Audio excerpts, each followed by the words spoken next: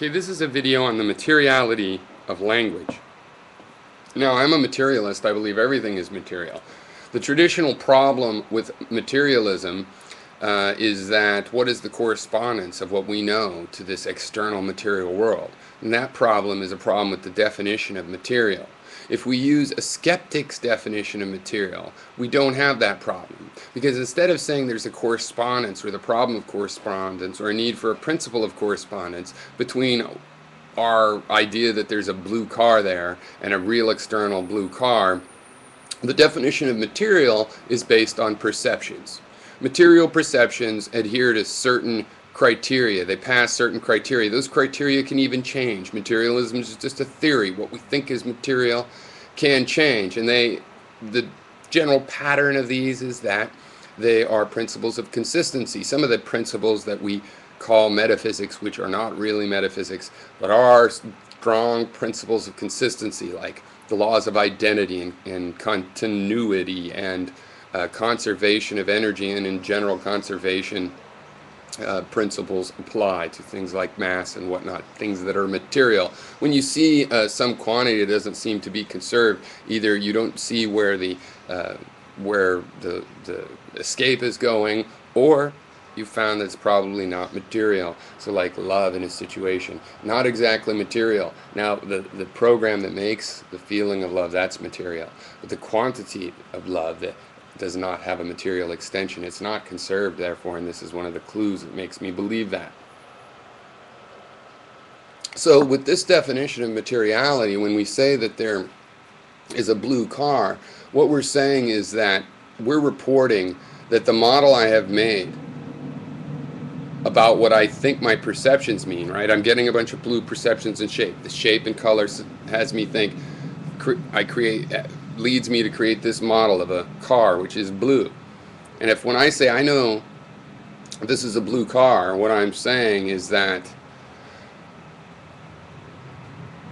I know that that is my model of what I think those perceptions mean, then I'm on a much stronger footing. Of course, to be really strong, you have to always go back to the perception. Someone can make you go back to the perceptions immediately. Well, what did you really see? Well, I saw a blue. Are you sure it wasn't a blue motorcycle? It was shooting by you have to go back to the perceptions. So a material fact is, is not undeniable, it's just supported with these material criteria. And of course, they can always be challenged on material criteria. And that's how we deal in materialism. Now, language in this schema is a material phenomenon, and we pretty much have a good idea of what creates it. It's the human mind, not even any other animal mind, and that's one of the things that's interesting about it.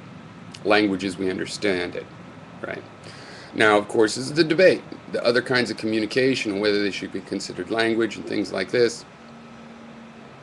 Generally, I think that there is a distinction, and the way we solve this distinction semantically is, you know, mammalian language or, you know, body language. You qualify the word language, and language alone tends to mean human language, right?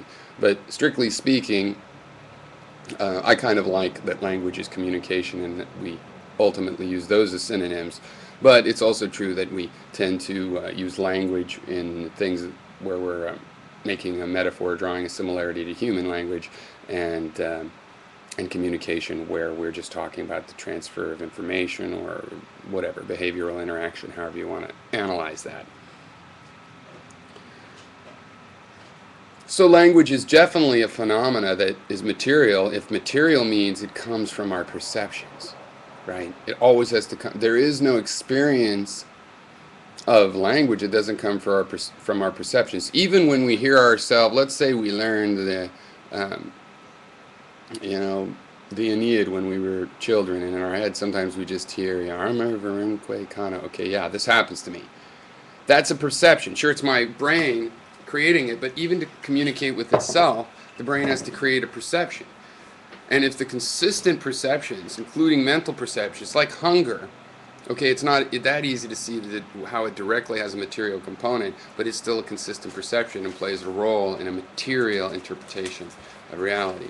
So this is why I say everything should be interpreted materially, not just materially, but materialism is one of the few systems that can be applied to everything. You know, a, a theory of art criticism is not necessarily to be applied to everything. A theory of engineering, a philosophy of engineering, not necessarily applied to every. Well, that one I pretty much would apply to everything too.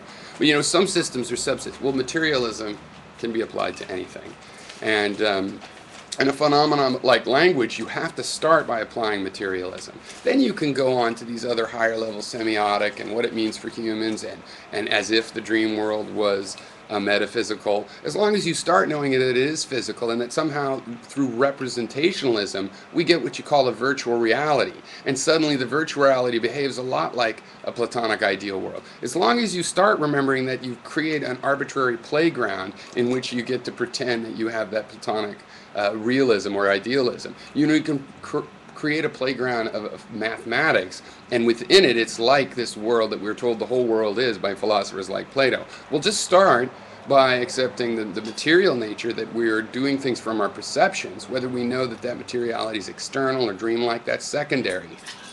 You know, if we start with that, then you could create these playgrounds and have all of the benefits that we, for example, have gotten from mathematics, you know, without making an epistemological error and confusing the whole of your overall worldview. That's my position. Cheers.